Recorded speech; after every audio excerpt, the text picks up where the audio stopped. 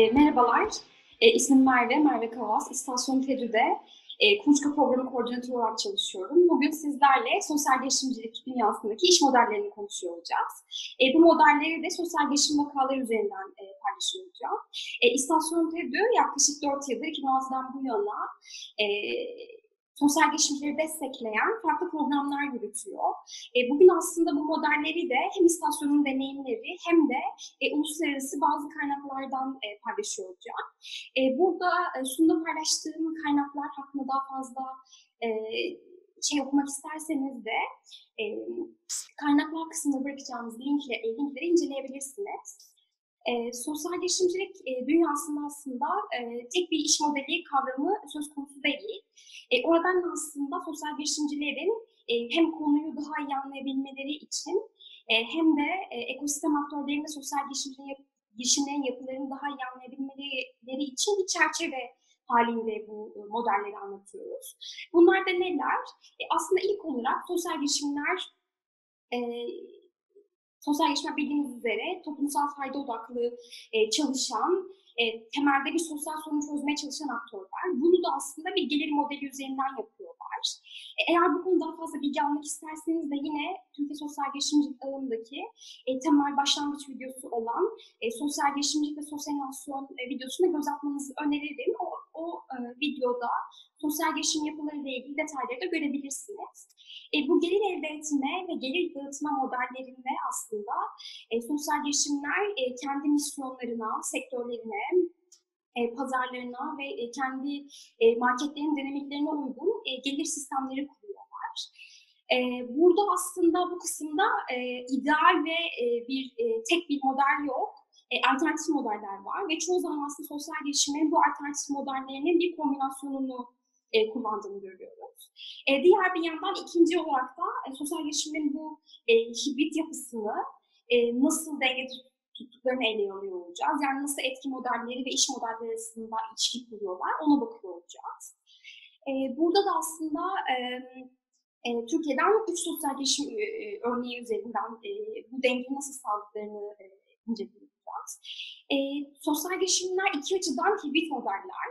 E, hem finansal açıdan e, hibrit modeller kullanıyorlar. Bu ne demek? Sadece tek bir iş modeline, e, tek bir gelir modeline bağlı kalmıyorlar. Çoğu zaman e, tamamlayıcı farklı finansman e, metotları kullanıyorlar. E, bir yandan e, bağış almaya devam edebiliyorlar, işte fonlama desteği alabiliyorlar. Bir yandan e, farklı fon e, desteklerine başvurabiliyorlar. E, bir yandan da aslında iş modelleri içerisinde farklı tamamlayıcı destekler alabiliyorlar. Kurumsal partnerler kuruyorlar gibi. E, bir de aslında bu tamamlayıcı finansman modellerinin hem önemine hem de sosyal girişimcileri nasıl dayanıklı hale getirdiğine e, değiniyor olacağız. Dördüncü olarak da e, son çerçeve e, kısmı. E, aslında sosyal girişimler bir sosyal girişimci ekosistem içerisinde e, yaşıyorlar. Bu ne demek? Yani sadece sosyal girişimler yok bu e, ekosistemde. Onları destekleyen aracı yapılar, e, kamu sektörü, özel sektör gibi aktörler var. Ve bu aktörler de aslında sosyal girişimlerin iş modelleri çok önemli e, rollere sahipler. E, sonrasında da buna değiniyor olacağız. Şimdi öncelikle e, gelir getirici ana e, ana roller üstlenebilecek iş modellerine e, bakalım. E, burada aslında kısaca e, değineceğimiz modellerin isimlerini ve bu modellerin ne çağrıştırdığını çok kısaca görüyorsunuz. E, birazdan detaylarını tek tek geçiyor olacağız. E, burada söyleyebileceğim önemli şey sosyal girişimler e, iş modellerini kurarken e, kendilerine has, kendi fayda alıcılarına has biricik modeller e, geliştirmeliler.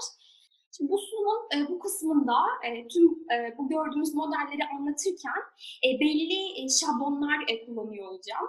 E, bu şablonların e, kullan, kullanıyor olmasının e, ana gayesi e, konseptleri iyi anlamak. E, az önce göstermiş olduğum sunumdaki e, şablonların üzerinden tek tek geçiyor olacağız e, vakalarla birlikte. Ancak bu şablonları da takip ederek e, konseptlere daha hakim olabilirsiniz. E, bu ne demek? Sosyal girişimlerin e, tüm e, yapısını ele almak için e, gri, e, gri şablonu takip edebilirsiniz. Bir yandan sosyal girişimler, girişimlerin pazarla ve faydalanıcıların nasıl etkileştiklerini e, daha kolay anlatabilmek için iki farklı renkte ok kullanıyor olacağız. Bunlardan üstü daha koyu renkli olan ok e, gelir e, gelir e, kısmını e, ifade ediyor olacak. E, çoğu zaman e, pazarla faydalanıcılar arasında sosyal gelirin yanı sıra sosyal fayda açısından bir etkileşim olduğu için e, koyu renkteki okun hemen altındaki açık renkteki ok da e, bu sosyal fayda e, misyonunu ifade ediyor olacak. Şimdi tekrar geçmeden önce tekrar bakalım. Birazdan e, bu 8 modeli inceliyor olacağız. E, ve bu modelleri bu gördüğümüz e, kavramlarla, e, e, bu şablonlarla aktarıyor olacağız. E, bu şablonları daha 2012 yılında e, Wolfgang Gressel isimli bir e, akademisyenin e, makalesinde aslında ilk defa e, kullanılmaya başlanıyor sosyal gelişimcilik ekosisteminde ve daha sonrasında e, bu şablonlar çeşitli yine uluslararası ve ulusal aktörlerce e, çeşitli şekillerde kullanılmaya devam etti.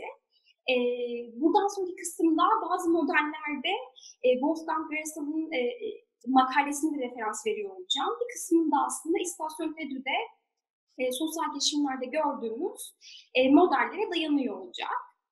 Şimdi ilk ücretli model. Ücretli model aslında bizim klasik piyasa ekonomisinde en çok, e, en sık rastladığımız model oluyor. Ücretli model ne demek aslında? Bir sosyal girişimden, bir işletmeden e, hizmet ya da ürün alıyormuşsunuzcasına e, doğrudan e, hizmet almanıza e, dayanıyor. Bu ne demek? Sosyal girişimin aslında göbeğinde faydalanıcıları var ve e, ana gayesi o faydalanıcıları e, faydalanıcıyla birlikte e, aslında sosyal etkisini maksimize etmek için belli bir ürünü ya da hizmeti e, pazara sunması demek. E, Türkiye'den iki örnek var. E, Tabit Sosyal Girişimi. E,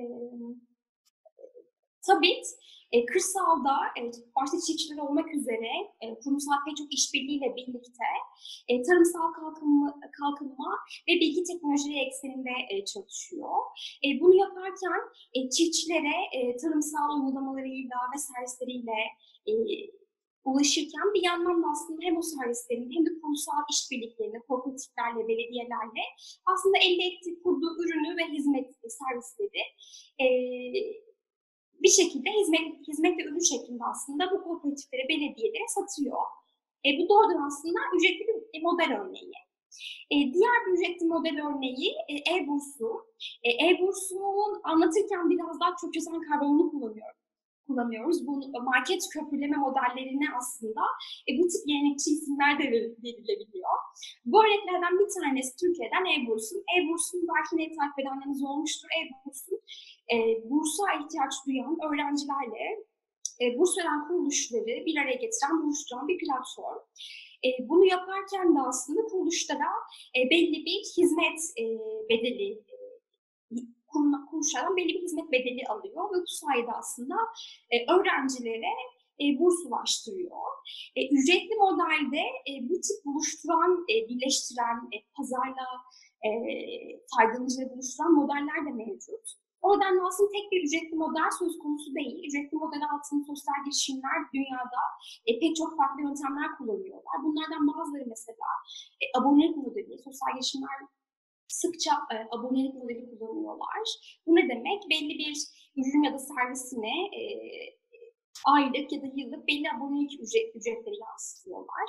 E, bir yandan e, niş, böyle çok e, kendilerine has, e, özel bir ürünü bazen satabiliyor e, satabiliyor sosyal girişimler ve o e, o özel, e, o kendilerine has ürün ya da servis onun için biricik oluyor ve ona göre bir ücretlendirme politikası yürütebiliyorlar. Bir yandan az önce bahsettiğimiz çok çatanlık modeli var. Aslında ücretli model içerisinde de sosyal girişimler farklı segmentasyon ve farklı teknikler kullanıyorlar. E, bir sonraki model dayanışma modeli. E, dayanışma modelinde e, sosyal girişimler e, faydalanıcılarıyla yine pazarı buluşturan e, yöntemler kullanıyorlar. Hemen önce bir vakaya bakalım. E, TOMS örneği sosyal girişim dünyasında çok kullanılan bir örnek. E, dayanışma modelinin e, esası da aslında e, sahip olduğumuz, sahip olmak istediğimiz bir ürüne, ürünü ya da hizmeti e, aldığımızda biliyoruz ki o ürünün ya da hizmetin e, aynısı ya da bir benzeri ihtiyaç sahibi, dezavantajlı bir gruba gidiyor. Yani tekrar modele bakalım. Sosyal girişimler e, pazarla etkileşiyorlar ve pazarla e, pazarı doğrudan bir ürün ya da hizmet e, satışı yapıyorlar ve pazardan elde ettikleri gelirle birlikte e, faydalanıcılarına e, doğrudan o, o ürünün ya da o hizmetin bir benzerini sağlıyorlar. E, yine Türkiye'den e, başka bir örnek e, aynı e, modelde e, MEAV yayıncılık. MEAV yayıncılık bunu kitap projelerinde yürütüyor. Yani siz MEAV yayıncılıktan bir ürün aldığınızda, bir kitap aldığınızda biliyorsunuz ki o, o ürünün bir benzeri ihtiyaç sahibi birisine gidiyor. Aslında bu hem uluslararası örneklerde hem ulusal örneklerde dayanışma modelinde önemli olan şeylerden bir tanesi e, bu modeli şeffaflıkla yürütüyor olmak. Hem e, Suma Waters'ın web sitesinde hem e, Thomas Ayakkabıları'nın web sitesinde bu modeli nasıl kurguladıkları, e, nasıl ihtiyaç sahibi olan bireyleri tespit ettiklerini ve onlara ihtiyaçları olan ürünleri nasıl ulaştırdıklarına dair açıklamalar da mevcut. Yine bunlara da linkten e, bakabiliyor olacaksınız. E, bir diğer örnek, bir diğer model, çok pardon, kapasite geliştirme modeli. E, bu ne demek? Sosyal girişimlerin bazıları e, belli üretici gruplara, özellikle dezavantajlı üretici gruplar olabilir bunlar, e, engelli bireyler olabilir ya da e, maddi açıdan dezavantajlı bireyler olabilir gibi aslında belli üretici gruplara istihdam yaratabiliyorlar ya da bu, bu grupların ürettikleri ürün, ürünler için aracılık rolü üstlenebiliyorlar.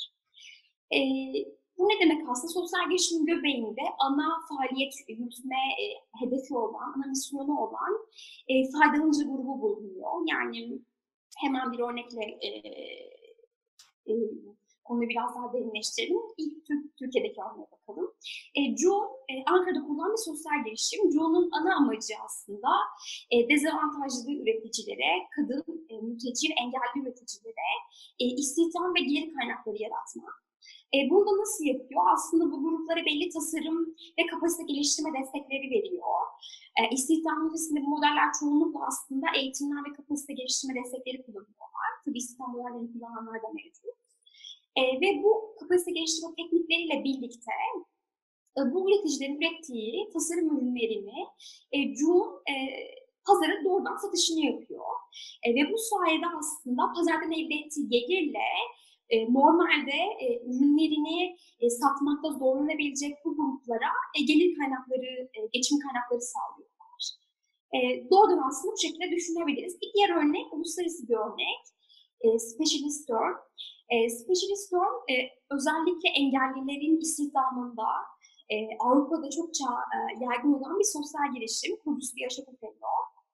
E, ve yaptıkları şey aslında e, bu engelli bireylerin çalışmakta e, daha yetenekli oldukları belli alanları tespit ediyorlar ve doğrudan o alanlarda e, bireylerin çalışabilmesi için e, iki taraflı destekler veriyorlar. Bu ne demek? Hem faydalanıcı gruplarına kapasite geliştirme destekleri veriyorlar hem de e, bu faydalanıcı grupların e, istihdam e, sağlayacağı şirketlere, e, çalışacakları yerlere de e, bu konuda eğitimler veriyorlar, kapasite geliştirme destekleri sağlıyorlar ve işbirlikleri yürütüyorlar. E, kapasite geliştirme desteği modeli de e, bu şekilde. E, bir diğer model e, pazar yeri modeli. Aslında e, pazar yeri modeli ve bir sonraki göreceğimiz model biraz birbirine benziyor olacak. E, pazar yeri modeli ne demek? Sosyal girişimin e, e, asıl misyonu, e, asıl hedef grubu, ürünleri olan, e, adet ticaret yapan ya da farklı e, ürün ya da hizmetleri bulunan e, üreticiler, bu üreticilerin daha e, daha iyi, daha adil ürünler satabilmesi ve geçinebilmesi için aslında pazar yeri e, sistemi kuruyorlar. Bu ne demek? Pazar yeri sisteminde e, bu modelde sosyal girişimler iki taraflı topluluk geliştirme yöntemleri kullanıyorlar. Bir pazarda daha fazla sayıda müşteriye e, bu ürünleri, bu adet ticaret ürünlerini almak isteyen e, sivil inisiyatiflere, e, bireysel kişilere ulaşıyorlar. Bir yanda da aslında e, bu adet ticaret ürünlerini üreten e, sosyal girişimleri, sivil toplum e, kuruluşlarına, e, sivil inisiyatifleri bir araya getiriyorlar. Aslında pazar yeri modeli e, Türkiye'de destekçi kullanılan e, bir model. E, bu modellerde sosyal girişim olabiliyorlar. E, Avrupa'dan bir örnek Fairmondo. E, Fairmondo e, az önce aslında bahsettiğimiz gibi e, çeşitli adil adil üretim yapan e, üreticileri bir araya getiren bir pazar yeri. E, bu pazar yerlerini de güzel yapan ama bir yandan da zor yapan şeyler, e, şey aslında topluluk, toplumun bir arada olması. Çünkü pazar yeri modeli topluluk geliştirmeye çok doğrudan dayanan bir model olduğu için bir yandan uygulaması da zor bir model. E, bir yandan da aslında e, gerçek bir e, topluluk aidiyet duygusu yarattığı için hem üreticiler hem de e, tüketiciler için e, katma değeri çok yüksek bir model. E, bu modeller çoğunlukla e, üreticilerine de çeşitli destekler sağlıyorlar. Bu ne demek? İşte o ürünlerin, e, o üreticinin ürünlerinin daha adil olması, daha doğa, daha doğa, doğa dostu olması ya da e, belki pazarlama teknikleri açısından e, bu tip pazar yeri modelleri e, bu modelin içerisinde yer almasını istedikleri üreticilerine ve çeşitli kapasite gelişme destekleri sağlıyor. E, Türkiye'den bir pazar yeri örneği, e, çokça bilinen Good for Trust. E, Good for Trust, e, Türkiye'de e, kurulmuş bir sosyal girişim. E, ve görüyorsunuz aslında işte ev ve yaşam ürünlerinden e, bebek ürünlerine, e, sanat eğilimlerinden e, spor e, aletlerine kadar farklı e, kategorilerde üreticileri ve tüketicileri bir araya getiren bir pazar yeri modeli. Yine bu Tortuas'ın açıklamaları için de onların web sitesini ziyaret edebilirsiniz.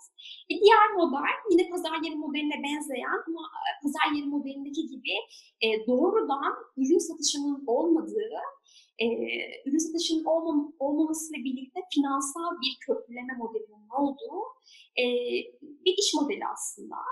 E, bu ne demek? Sosyal girişimin e, ana e, sosyal girişimin ana hedefi yine e, iki grubu buluşturmak, yine pazarla e, sosyal girişimin hedef kitlesini, faydalanıcılığını buluşturmak.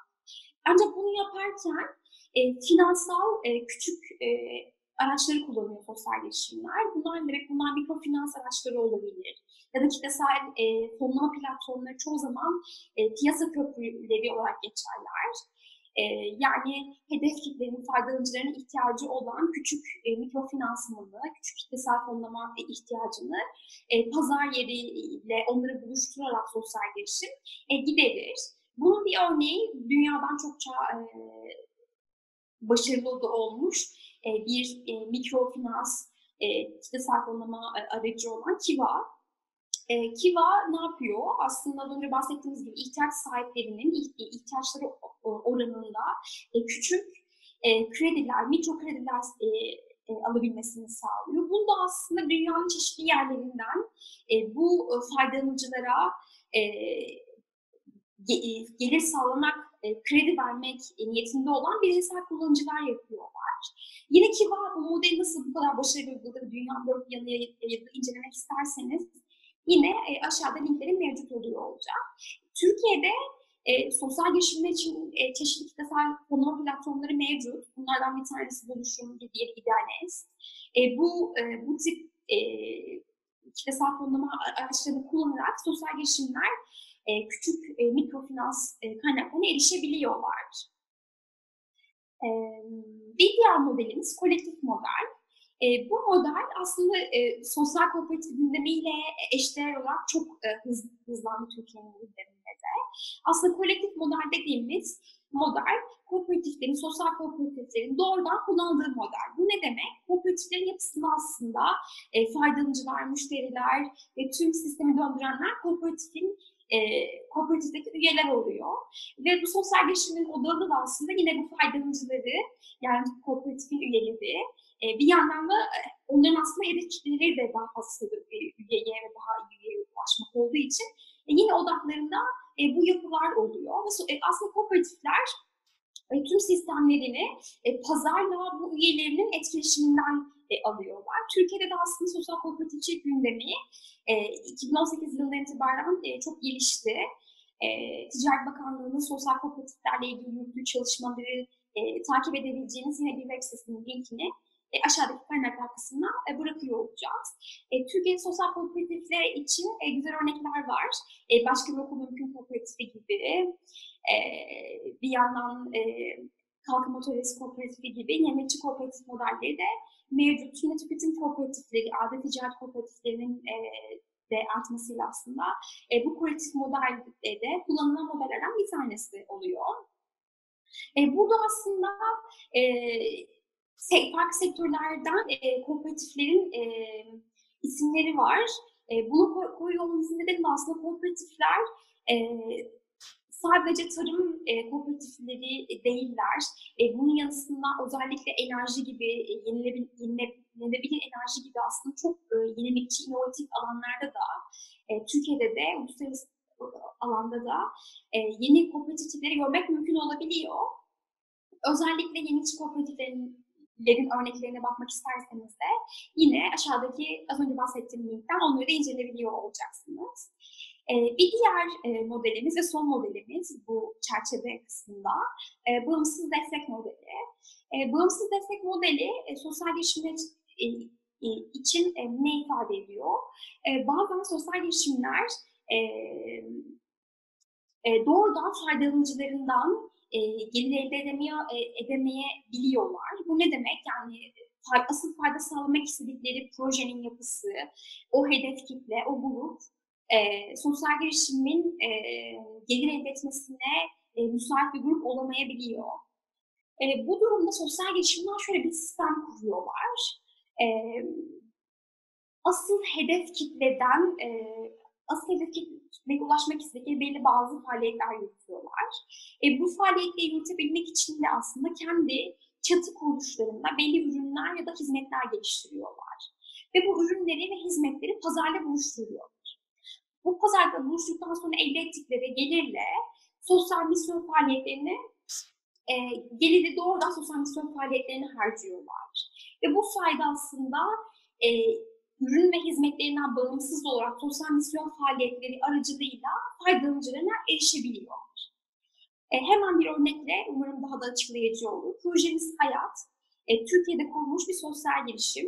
E, projemiz Hayat'ın asıl nihai amacı e, çocuklukta duygusal ihmal, ihmale, e, ihmal çözümler geliştirebilmek. Bunlar için annelerle ve çocuklar çeşitli projeler, faaliyetler yürütüyorlar. Bu aslında projemiz Hayat, e, projemiz Hayat'ın sosyal misyon faaliyetleri e, diyebiliriz. E, o konuda yürütebilmek içinse e, hemen resimde de görmüş olduğumuz Foka isimli e, organik çocuk ve bebek ürünlerini sattıkları bir mağazaları var. E, bu, bu mağaza üzerinden sattıkları ürünleri doğrudan e, e, gelecek, gelecek, gelecek dokunan anneler isimli sosyal misyon e, tarafına e, aktarıyorlar. E, bu sayede aslında e, aktardıkları bir sistem e, kuruyorlar.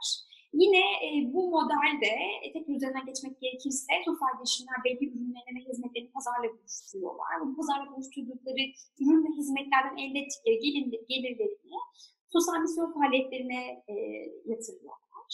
E, tüm bu modellerde aslında sosyal girişimler için önemli olan şey e, kendilerine uygun modeli ya da modelleri birleştiriyor olabilmek. Bu ne demek? Tek bir doğru model yok. E, sosyal girişimler e, sosyal girişimcilik yolculukları boyunca aynı anda ya da farklı zamanlarda farklı iş modelleri deneyebiliyorlar. E, o yüzden aslında sosyal girişimler kendi yapılarına, kendi sosyal etki misyonlarına, kendi, kendi faydalanıcılarına özel e, biricik e, bir kombinasyonlar e, bütünü yaratıyorlar. E, değinmeden olmayacak aslında bu video e, erken aşama sosyal girişimlerini kullanabileceği modellere uygun hazırlandı. E, daha ileriki aşamalarda sosyal gelişimler çeşitli büyüme modelleri kullanıyorlar. Aslında temelde bir, kısa bir giriş yapmış olduk. E, büyüme modellerinde sosyal gelişimler bu modellerin çeşitli kombinasyonlarını yan yana getiriyorlar. Bir yandan da e, büyümek için e, stratejik bazı modeller e, deniyorlar. Bu ne demek? İşte franchise modelleri, e, replikasyon modelleri ya da kurumsal işbirlikleriyle büyüme e, yöntemleri deniyorlar. Çok kısaca bunu da değinmiş olalım. E, şimdi çerçeve dosyamızda ikinci bir e, başlığımız vardı. O başlık da aslında sosyal girişimlerin e, toplumsal sosyal bir sorun çözmeye çalışırken bir yandan da gelir e, gelir e, kazanmaları gerekirdi aslında. E, sosyal girişimlerin sürdürülebilirliği için, hayatta kalmaları için ve nihayetinde aslında o problemi e, sistem dönüşüm yaklaşımıyla ortadan kaldırabilmeleri için ve maksimum sosyal etki yaratabilmeleri için aslında bu iki kavram arasında bir denge yaratmaları gerekiyor. E, burada birazdan örneklerini e, göreceğimiz e, modellerde e, yine e, şablonları takip edebilirsiniz. Şablonlarda şunu görüyorsunuz aslında. Gri kutucu e, sosyal fayda misyonunu ifade ediyor. E, mavi üçgen ise gelir getirici faaliyetleri ifade ediyor. E, biraz da bu misyonla gelir getirici faaliyetler arasındaki örtüşme e, kısmını ele alıyor olacağız. E, kısaca bahsettiğim gibi aslında sosyal girişimler bu iki e, faaliyet arasında, sosyal fayda faaliyetleri, ana misyon, ana sosyal etki ve gelir getirici faaliyetler arasında dengeyi e, e, kuruyorlar ve kurmak e, durumundalar. Şimdi bu kısımda e, gördüğümüz aslında etki modeli ve iş modeli dengesinde gördüğümüz üç tane temel e, model var. E, sosyal girişimlerin sosyal fayda ve gelir getirici faaliyetleri örtüşüyor olabilir. Bu ne demek? E, aslında sosyal girişim doğrudan yaptığı ürün e, gelir getirici faaliyetleriyle, ürünüyle, e, hizmetiyle doğrudan sosyal fayda misyonuna e, katkı sağlıyor. E, bu modelin ismi bütünleşik model. E, bu modele örnek olarak da Otsimo sosyal girişimini verebiliriz. Otsimo, e, otizm çocuklar için e, otizm çocuklar için e, oyun, e, eğitici materyaller ve oyunlar tasarlayan bir sosyal girişim. Otsimo aslında doğrudan bu tasarladığı oyunlar ve eğitici materyaller üzerinden gelir elde ederken e, bu yine bu eğitim materyalleri üzerinden doğrudan aslında e, asıl hedef kitlesine e, doğrudan e, fayda sağlayabiliyor. Yani orada bir örtüşme, bir bütünleşme söz konusu. Diğer bir model, bileşik model. Bileşik modelde yine sosyal fayda misyonu ve geri getirici faaliyet var. E, bu faaliyetler bileşik diyebileceğimiz seviyede, yani örtüşüyorlar. Ama bütünsel açıdan doğrudan e, sosyal girişim, ana sosyal fayda misyonundan e, gelir elde etmiyor demek. E, ör, e, ana misyonla örtüşme var gelir getirici faaliyetlerde. Ama bütünleşik bir halde değil, birleşik bir halde. Yani kesişiyor. Yine aynı sosyal fayda amacına hizmet ediyor sosyal gelişim geri getirici faaliyetleri. E, ancak e, doğrudan bir kesişim söz konusu değil. Bunu örnek olarak da yine Türkiye'den e, Anlatan Eller Sosyal Gelişimine örnek verebiliriz. Anlatan Eller, e, Türk İşaret Dili, e, eğitimleriyle sağır topluma eğitimler veren bir sosyal gelişim. E, ana misyonu anlatan ellerin e, sağır bireylere Türk İşaret Dili eğitimleri vermek, bunu, bunu, bu eğitimlerle aslında e, onları güçlendirmek e, ve topluma kazandırmak, istihdama kazandırmak, e, hayatlarını dokunabilmek. E, ancak anlatan eller bu eğitimleri eğitimleri sosyal fayda misyonu gereği e, faydalanıcılara ücret, ücretsiz e, veriyor. E, ve ücretsiz verirken de aslında geri getirici faaliyet olarak yine bu e, Türk işit, işitme e, işaretleri eğitimlerini e, kurumsal partnerliklerle e, ya da farklı e, tipte partnerliklerle belediyeleri olabilir, özel şirketleri olabilir. Aslında çeşitli e, kuruluşlara e, eğitimle, eğitimlerle e, oralardan gelir, e, gelir e, sağlıyor. Burada aslında baktığımızda anlatan eller yine gelirini, sosyal faydasını çok uygun e, doğrudan sosyal faydasıyla örtüş, örtüşen, ya bu ne demek? Yani Antaneller bir sosyal girişim olarak kurumsal bir eğitim verdiğinde de o kurumsal yapı içerisinde bir dönüşümü tetikleyecek ve o kurumsal yapıdaki her e, çalışan ve bir biricik e, toplumsal vatandaş olduğu için aslında yine e, ana sosyal fayda misyonuna e, doğrudan e, fayda sağlıyor. E, ancak dediğimiz gibi e, bu sosyal fayda misyonuyla gelir getirici faaliyet örtüşmekle birlikte doğrudan bütün değil. E, bir diğer model ve son so, etki iş modeli kısmındaki alt kategorimiz. Aslında az önce bir örneğini de görmüş olduğumuz projemiz hayat e, ve Fokagut örneğindeki gibi destekçi model. E, o örneğe geri dönelim. Sosyal fayda misyonu, misyonundan sosyal girişimin e, gelir elde e, edemediği e, ve o geliri elde edemediği için tamamen e, başka bir gelir getirici faaliyet yürütmesinden dolayı aslında o gelir getirici faaliyetten elde ettiği geliri sosyal misyonuna aktardığı model e, kısaca. E, bu modelleri toplayacak olursak aslında sosyal girişimler bir önceki çerçeve kısmında gördüğümüz e, modeller, modelleri ve bu etki modellerini e, aynı anda ele alıyorlar. Yani e, kurgulamasını yaparken ve, ve stratejik olarak düşünürken aslında sosyal girişimler e, hem e, etki modellerini nasıl kurguladıklarına e, e, dikkat e, dikkat ediyorlar, önem veriyorlar. Bir yandan da aslında e, geri getirici faaliyetlerini de iş modeli, farklı iş modellerine göre e, belirliyorlar. Sosyal girişimlerin birçoğu aslında bunları e, kavramsal bilmeden yapıyorlar. Çünkü ana odaklarında, ana misyonlarında faydalanıcılarına e, daha fazla fayda sağlamak, sosyal etkinliğini artırmak olduğu için aslında e, bu modellerin çoğunun kurgusunu çok istemsizce bazen bilmeyerek yapıyorlar. Umuyorum bu video erken aşamadaki sosyal girişimlere ve sosyal girişimlerle çalışan ekosistem aktörlerinin hem etki modeli ve iş modeli arasındaki dengeyi sağlamaları hem de e, sosyal gelişim açısındansa iş modellerinin, farklı iş modellerini düşünebilmek açısından iyi olabilir. E, çerçeve e, yaklaşımlardan üçüncüsü tamamlayıcı finansman modelleri. E, sosyal gelişimler için olmazsa olmaz aslında ticari ve iktisadi faaliyetler yürütebilmek ve bu yürüttükleri faaliyetlerle ayakta kalabilmek. E, yine de sosyal gelişimler için e, önemli olan bir kısım e, tamamlayıcı ekstra finansman modellerini de kullanabiliyor olmak. Aslında bu tamamlayıcı finansal modellerini kullanabiliyor olmak sosyal gelişim için farklı açılardan fayda sağlıyor. Hem e, daha fazla faydalanıcıya ulaşmalarına e, sebep olabiliyor. Ekstra gelir getirici e, gelir getirici e, yöntemlerle. Bir yandan da aslında e, farklı finansman modellerini kullanabiliyor olmak sosyal gelişimlerin dirençliliğini de artırıyor. E, burada tamamlayıcı finansal modellerini aslında e, neleri, neleri kastediyoruz? Ticari ve iktisadi faaliyetin yanı sıra hibeler ve projelerden de e, sosyal girişimler e, katkılar e, alıyorlar. Bir yandan bağışlar alıyorlar, destekler, e, destek kampanyaları e, yürütüyorlar. E, kitlesel fon mekanizmalarından yine e, destekler sağlayabiliyorlar. Bir yandan da aslında kurumsal yapılarla ya da kendilerine benzer e, oluşumlarla, kuruluşlarla e, çeşitli sponsor modelleri e, deniyorlar. E, sosyal girişimci dünyasında aslında etki yatırımları, yatırımlar, e, konuşulan yöntemler. Bunun yanı sıra girişimci filantropisi yöntemleri de yine e, bu kapsamda ele, ele alınabiliyor. E, yine sosyal girişimler mikro kredilerden yararlanabiliyorlar ya da farklı destek kredilerinden de yararlanabiliyorlar.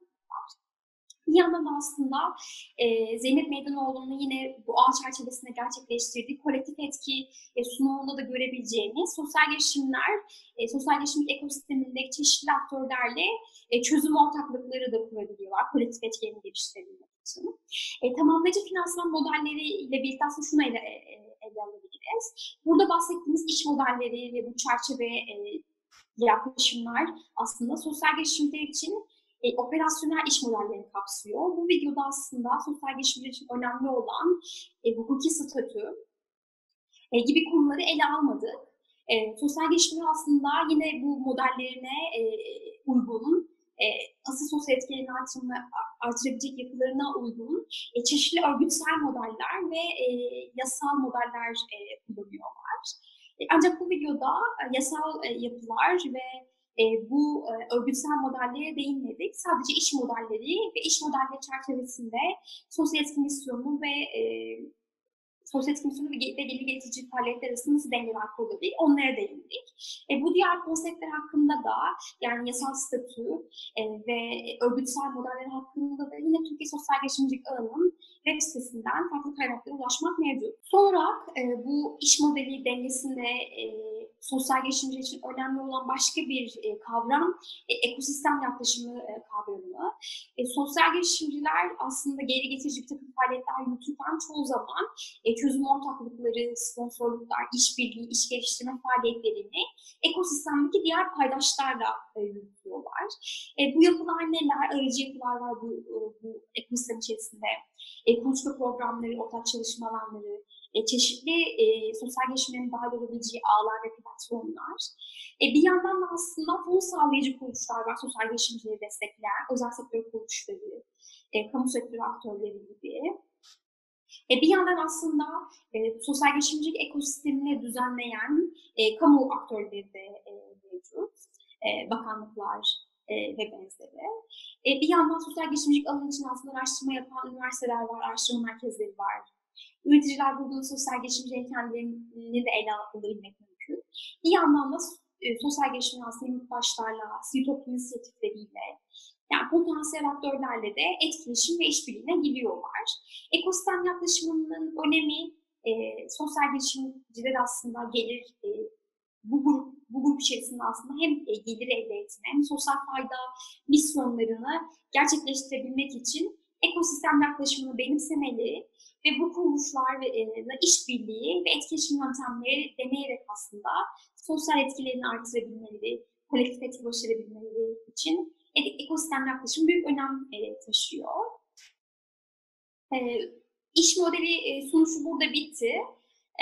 Türkiye Sosyal Girişimcilik ağını takip ederek hem bu eğitim videosundaki kaynaklara erişebilirsiniz hem de diğer eğitim videoları, videolarına da ulaşabilirsiniz. E, çok teşekkürler.